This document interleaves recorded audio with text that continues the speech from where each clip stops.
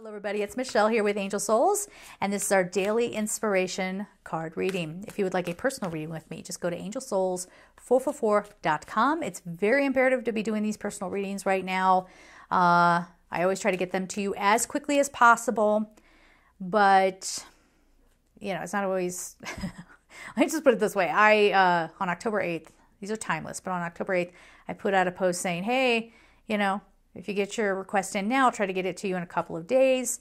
Uh, normally, the amount of business I would get in 24 hours, they should open in about five minutes. Literally, I'm just sitting there like, whoa, surprised and happy and honored that people are trusting me with their reading. And then start getting a little concerned. And I was like, it just keeps going.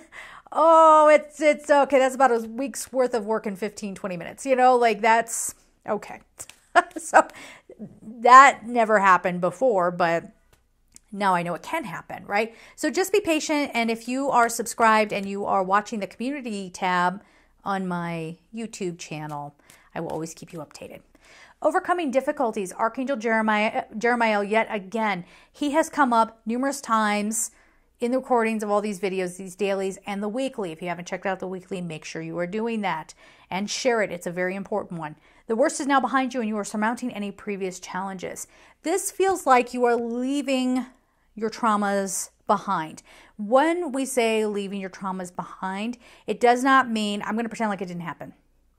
I'm just going to not think about it. I'm not going to process it. That's not overcoming it, okay? Get proper support. This is not a replacement for therapy. Make sure you're getting with a therapist.